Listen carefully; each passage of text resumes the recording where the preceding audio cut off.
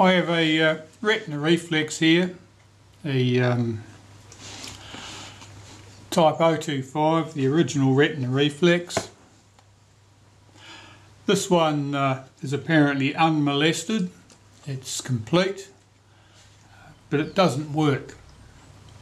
And uh, you can't see anything through the finder.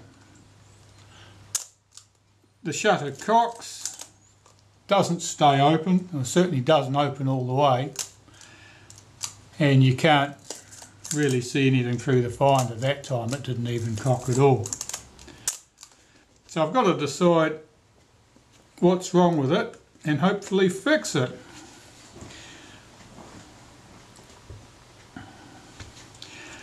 I can see that the blades are open there that's the aperture blades I can see there, the diaphragm blades. Shutter blades in front of them. Shutter blades are just showing in the edge of the hole there. They're certainly not opening all the way. And there's the shutter blades failing to close. So, what can I tell about it? Well, the lens has a UV filter on the front fairly heavily finger marked on the outside, but probably okay. This camera I'll be stripping down completely to service.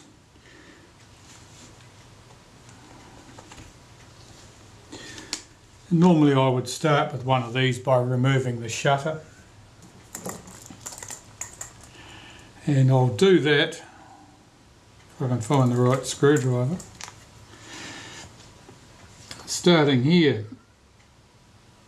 That's not the right screwdriver.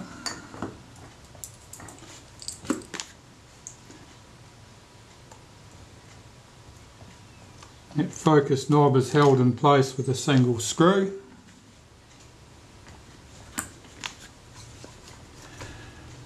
Then our focus scale ring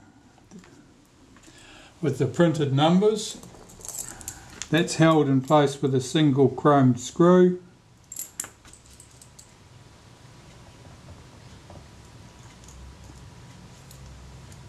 Very short thread on that screw. Now our focus scale ring should lift out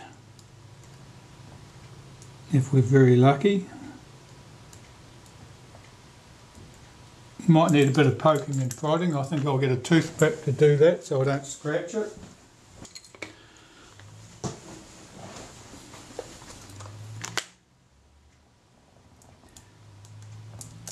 That's it, get it started.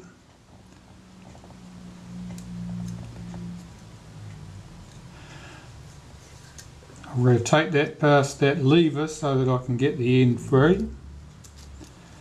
And just lift this ring out of the slot all the way around. Pop it carefully to one side where it won't get damaged. Now, under that there's a chrome ring here. On the inside of the knurled edge there's a little chrome ring sitting in that space. And sometimes it'll helpfully come out for you. Generally it's got to be pushed out.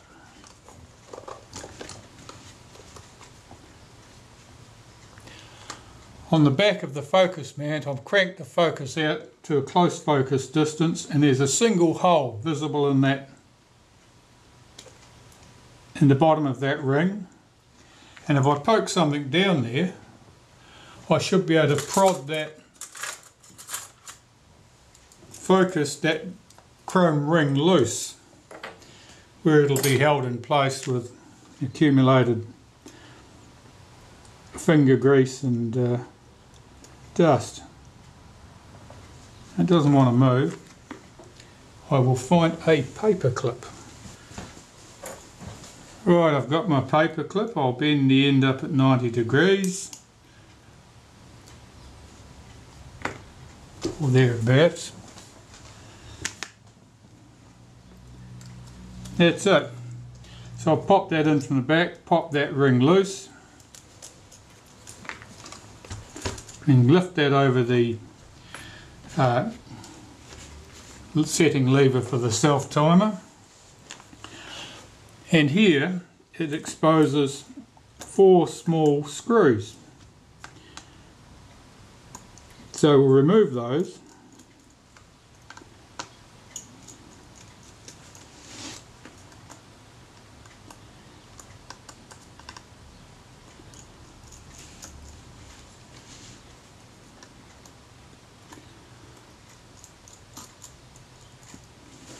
Right, they're loose.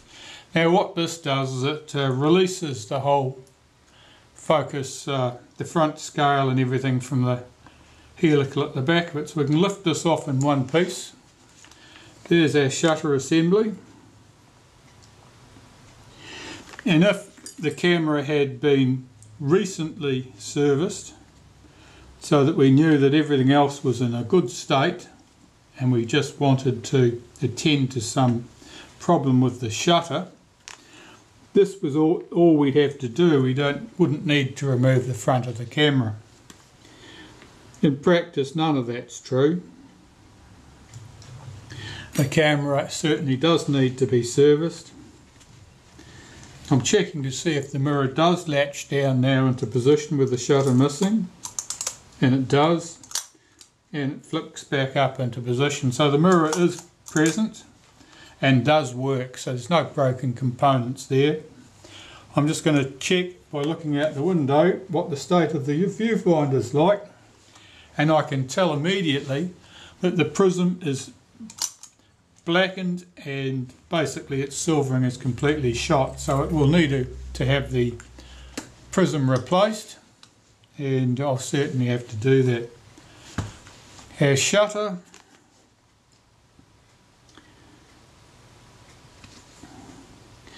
I think this time I'll service the body first and then come back to the shutter once the body is in a fit state.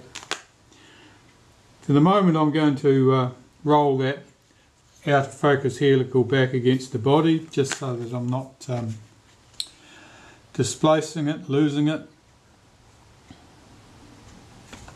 To remove the top cover, we start by opening the cap back of the camera put something through the fork of the rewind knob. Oh, that came off quite easily. Sort of suggests someone has had a look in here and perhaps thought better of it. I'll remove this single pinhead screw at the top.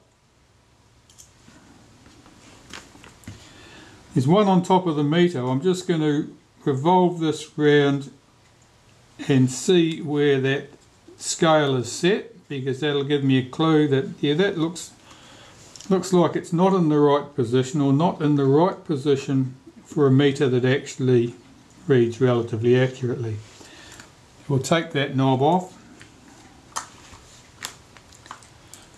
Two screws at this end.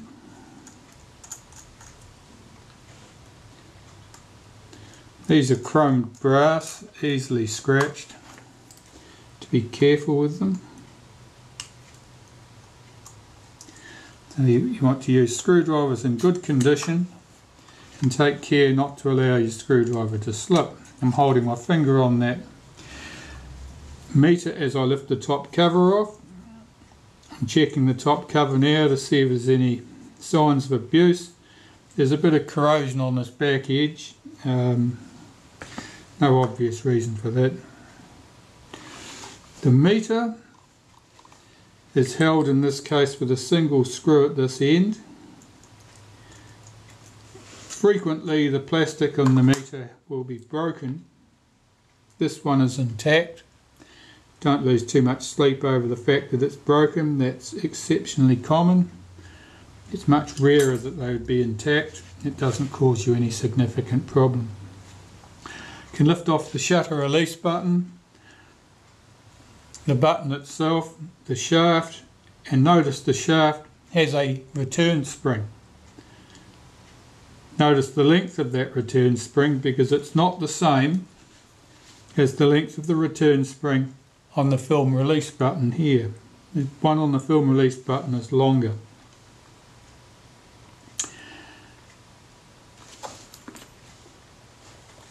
that little piece of metal that just fell off would have been fixed to the top of the prism at one stage. Its job would be to help protect that prism um, from handling damage. I can see here, though you may not be able to see, I can see straight in through the coating here, the black paint has given way at this stage. Um, the silvering underneath it has given way and the black paint's come off with it. I can see straight into the glass here you'll probably be able to see that. If I angle that to the light a bit better, you probably see that we can see straight into the prism at that point. The silvering's gone completely. That prism is officially buggered. So I'm just going to crank my advance slightly so that this arm here, which sets the frame counter, is clear of the prism. I'll remove the three nickel plated screws that hold the prism to the body, one either side and a slightly smaller one at the back and now the screw head on the smaller one at the back is chewed up. That means that the camera has been serviced before.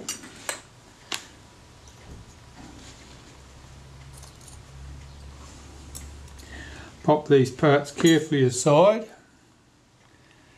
Lift out the prism and finder assembly which is a bit tight to get out.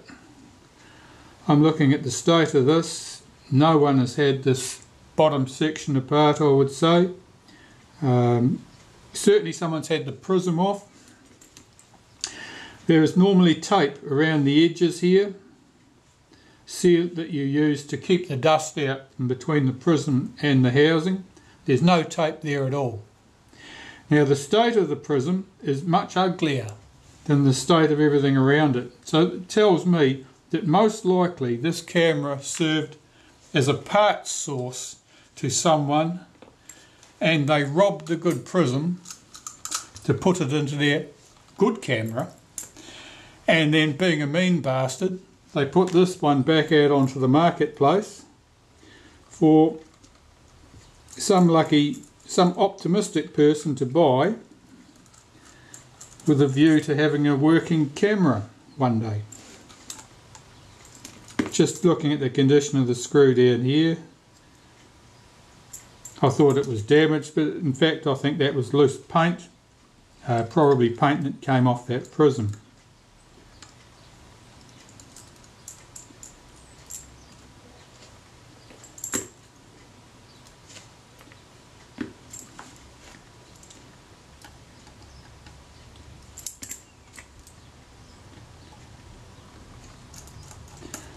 Remove the screws holding this bar down in place and one of them looked a little bit suspect, a little bit short to me. I would generally use a longer screw there. I'm looking at the state of the rack, that appears to be good.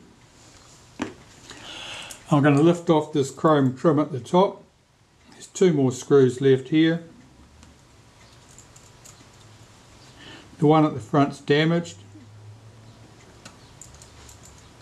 Tells me someone's been in there before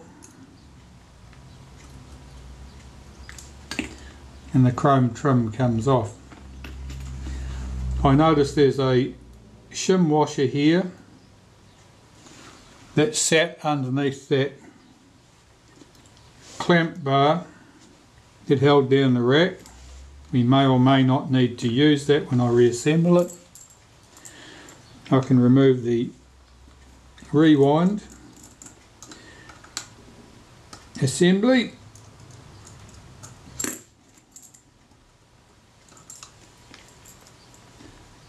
poke the inner out and the outer. So there's three major sections there. They'll all need to go in the cleaner. I'll take this post off the top of the body just because I don't need it in my way.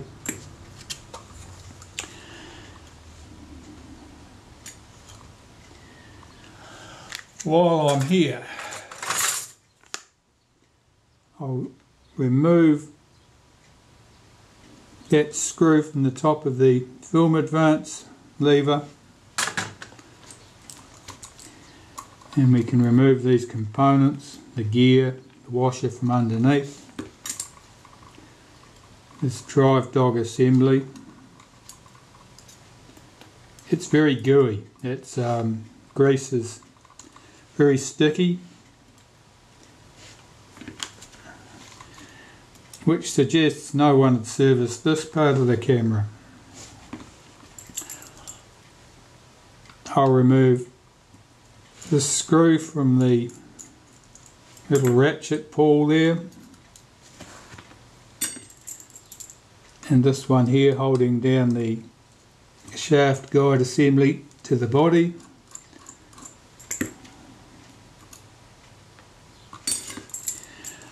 I'll remove the single screw and its spring from the top of the release lever. And I'll remove the spring the circlip and uh, spring from the top of the lock lever.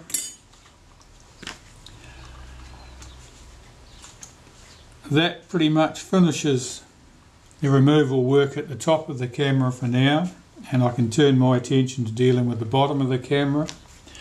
At this stage, before I tip things upside down completely, I'm going to remove that flash contact and its spring. I'll remove the two ball bearings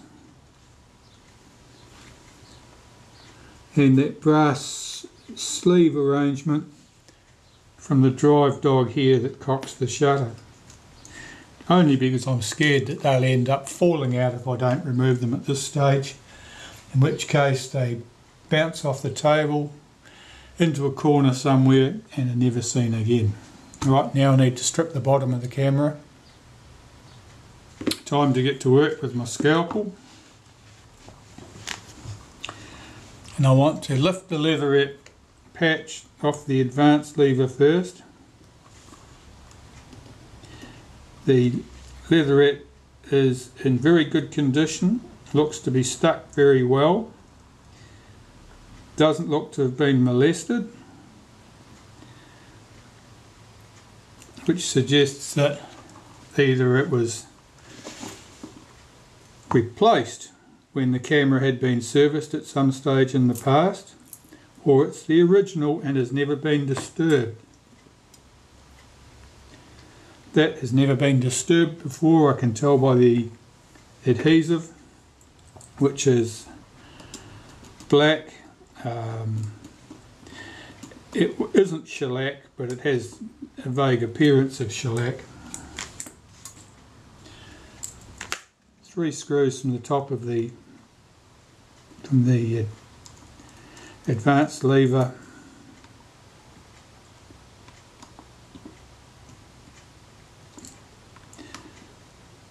One of them's a bit hard to get to. I'm just looking at that. Looks like the slot is misshapen. It's certainly clogged with something. The slot's slightly off centre on the screw head. That's a bit unusual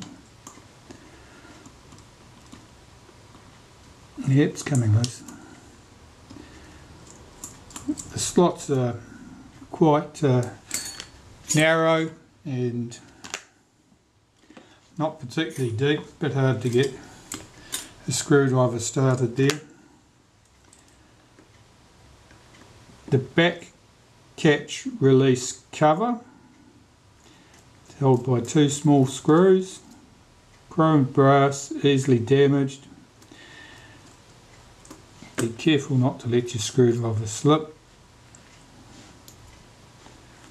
That mechanism came off in one piece and it should have a little return spring which yeah it is there. I thought it had bounced off the table but we're fortunate it hadn't.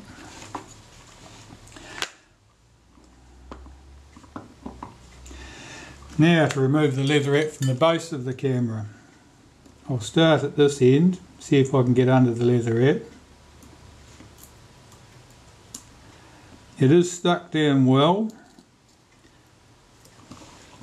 I know from the state of the leatherette on that uh, film advance lever that the film advance lever had never been off the camera. So that indicates if no one had taken the advanced lever off, no one could have removed the leatherette from the base of the camera either.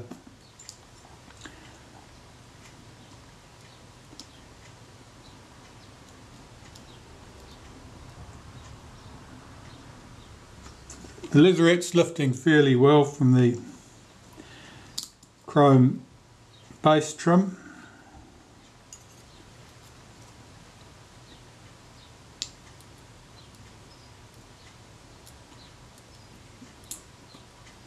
Typically it's easy to work from the edges towards the centre.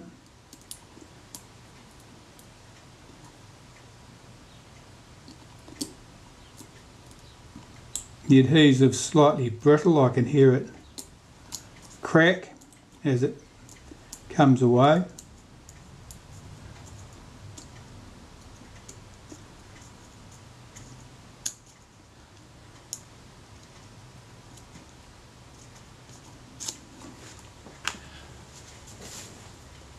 Oddly enough, removing the leatherettes is one of the most time consuming parts of the job when you're repairing a, an old camera like this. When the cameras were comparatively current, leatherettes would have still been fairly fresh and fairly flexible and so were often easier to remove. But if they gave any trouble at all, they would have just been torn off in pieces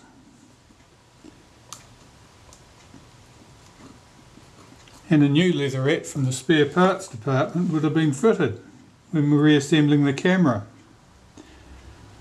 because that was the most economic way to go about the repair. Now when leatherettes are not available, if you want the camera to look original, or even if you just want to avoid the hassle of having to make a new leatherette, it's important to get the leatherettes off in one piece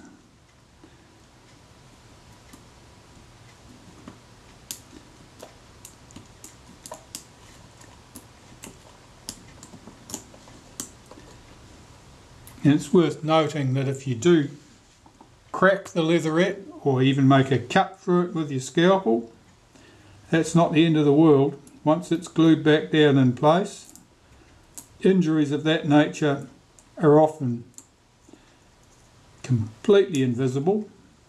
And if they're not, they can be fixed with a little bit of black wax. Black Crayola is a handy thing to have.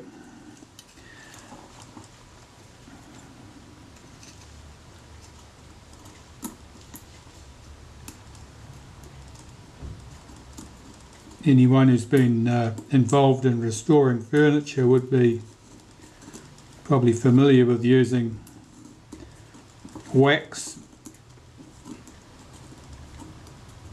to cover holes and it's not a dissimilar process.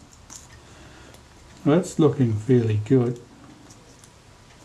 It's reluctant to move right in the middle there. That's it, it's lifted off. Just waiting to crack that last bit. So there's our leatherette all off in one piece. This little aluminium uh, cover just covers the position of this little hold down here that a spring sits on and uh, that'll be put back before we glue the leatherette back. So leatherette off the camera, the, now we can take the screws from the base trim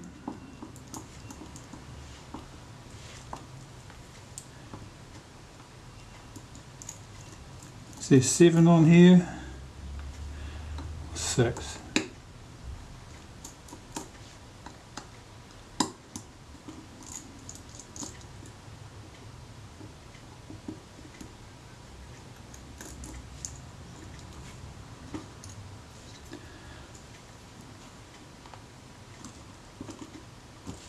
Seven. Be careful when lifting this chrome trim off. There will be a spring underneath the plate and uh, get under here and lift this off, it's reluctant.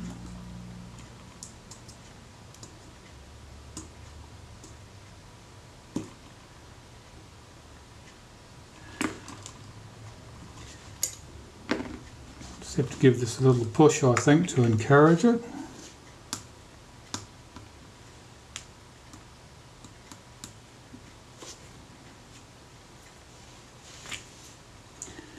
See if I can get under that edge. Give it a push.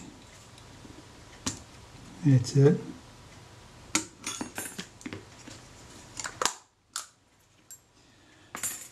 As I said, there's a spring in here. The spring is quite a stiff little spring. It serves as part of the mirror um, locking settings remove that rod. That rod was our lock lever. This rod is our release lever and the release lever has a return spring on the base which I'm removing carefully so it doesn't get damaged in the cleaning process.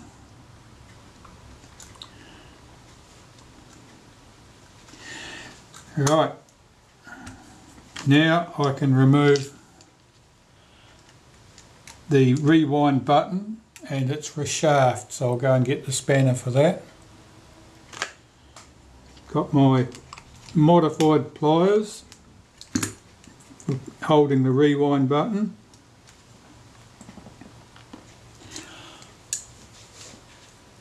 A cheap pair of needle nose pliers. I cut the front off them, stuck them in the vise, drilled the hole down in between the two sides the right diameter to allow it to grab the rewind button. It's important to buy cheap pliers because you want ones with terrible steel qualities, not too hard. If they were very tough you might have trouble drilling those. In fact I'm sure you would. So I remove the single screw here that drives the sprocket shaft.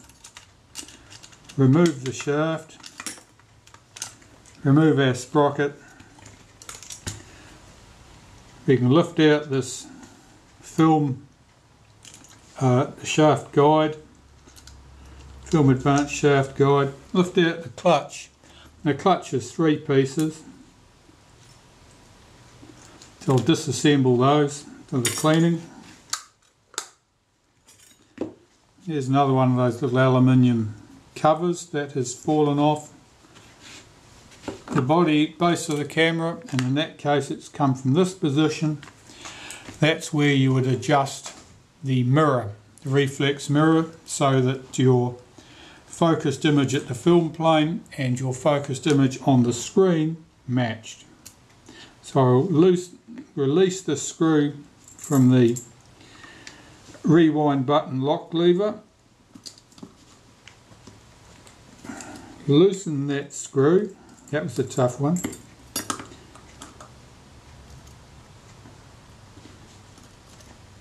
It's important to keep a lot of downward pressure on screws so that the screwdriver doesn't slip out of the slot. Um, so it's useful to have something to work on I find this little block of wood is a very handy thing. It's not very sophisticated looking, but it's a, it's a great convenience. Now there are three screws hold the film advanced shaft into the camera. This is very sticky. Um, just going to rotate that till I find the three screw heads through the holes and it's uh, very reluctant to move. That'll do. You can see them there.